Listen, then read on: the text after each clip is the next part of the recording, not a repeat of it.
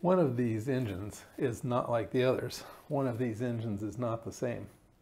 Can you guess which one it is? Yeah, if you said this middle one, you are correct. It has a very different operating principle than these two Stirling engines. A lot of people market this as a Stirling engine, but uh, in fact it goes by many names, uh, flame licker, flame sucker, uh, vacuum engine. It's, uh, yeah, in that category. But uh, I'm going to try to convince you that this more operates like a pre-James Watt steam engine than it does a Stirling engine. Okay, well, let's take a close-up look at it, look around and see how it operates. Let's do a tour of this engine. We'll start on the simple side. This is obviously the flywheel. And we'll go around here to the back side. It connects to the crankshaft here, and on the crankshaft is connecting rod out to the piston, going to the cylinder. We'll get a little better view of that in a second.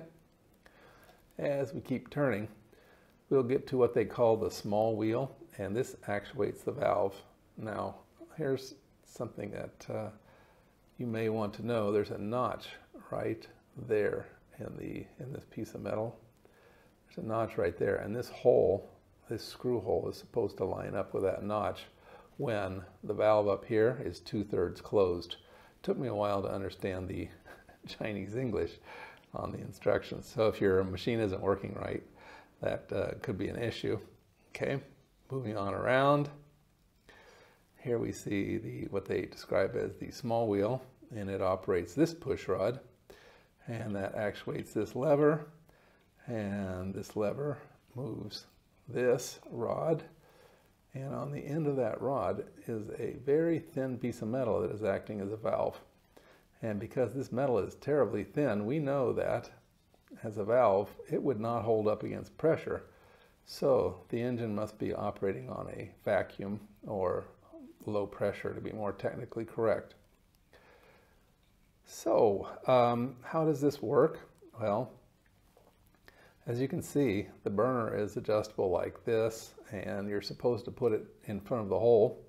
So you start it up. Uh, the burner is interesting because it has a, instead of a wick, it has a rolled up piece of uh, very fine mesh. And anyway, we adjust that. What happens is that the port opens and it sucks some flame inside there. And of course, the, the plasma of the flame is very hot. It's a hot gas that goes inside the cylinder. And then the valve closes and very quickly that plasma comes in contact with the cool metal of the engine, it uh, changes volume, it shrinks in volume, and that causes the atmosphere to push on the back of the piston back here, and that pulls the piston forward. Then it opens it up and it allows the vacuum to escape if you, yeah, that's not the correct way of saying it, but allows more air in uh, which sucks in flame, and then it just repeats the whole cycle over and over again. And of course, we'll start this up and take a look at it. This is a diagram of our flame licker engine, and I will start this up right here. It will, you can hear it operating, and we can kind of compare it to the uh, diagram, the real thing against the diagram. And in a second, it's going to slow down and get quiet. There we go. It's running in slow-mo. So the steps, there's only two phases to this motor. It's really a two cycle engine, if you will. What happens is this valve opens and this piston starts to move backwards. And this is not a power stroke. It's literally just sucking the flame inside of it. And that flame is hot plasma. It's highly expanded gas. And so piston moves all the way back and the valve begins to close. Here the valve does close and we have this this hot plasma is now in contact with the cool cylinder walls. You see the uh, cooling fins here. And what happens when a hot gas cools? It shrinks. So the atmosphere starts pushing on the back of this piston, drives it forward. As it uh, finishes shrinking, what will happen is the valve opens and allows the cool air to be expelled. And then we start up here again and it starts pulling in a fresh charge of highly expanded plasma, and then it operates, goes through the cycle again. I said that I think that this engine is more like the original steam engines, the atmospheric or vacuum type, or they also call them condensing engines.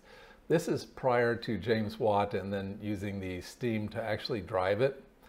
Uh, so in this diagram, we can see what's going on. The weight over here is lifting the piston up. The steam is not pushing it up. The weight is actually pulling down and lifting this piston up. Then this valve right there opens and allows steam to enter there. Now, again, the steam's not pushing on it. Then the steam valve closes. We'll see that right there. Steam valve closes and there's a spray of water gets injected into there. And what happens when you cool steam? It condenses, it, it contracts, it gets a smaller volume. So the vacuum pulls the cylinder down. In other words, atmospheric pressure pushes on the back side of this cylinder and that's where the power comes from. So you just keep repeating this cycle. So in 1758, there's this guy named Henry Wood. He realized that you could just uh, introduce the hot gases rather than going through the steam part. You could just uh, eat the flame and get the same thing done.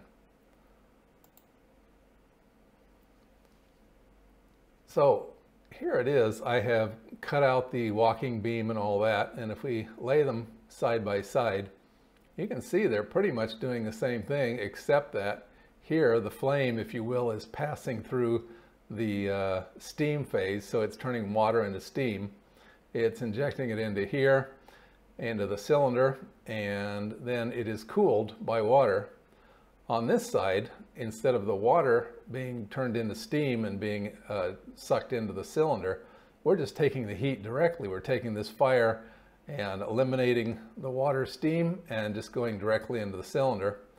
And instead of water cooling our steam and causing the volume to shrink, we are using just this cooling fin to do the same job. So it pulls in the hot plasma, which is, has a high volume, touches the cylinders, cools it off. Could you inject cool water in here? Yeah, I guess you probably could.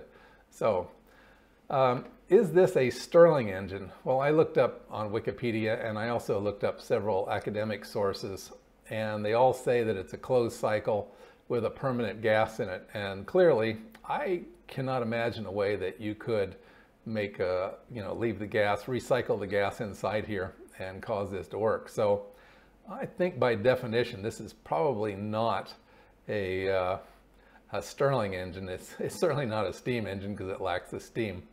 But uh, I think it's, uh, yeah, vacuum engine or whatever. It's more like one of those uh, general categories than it is a, quote, Stirling engine.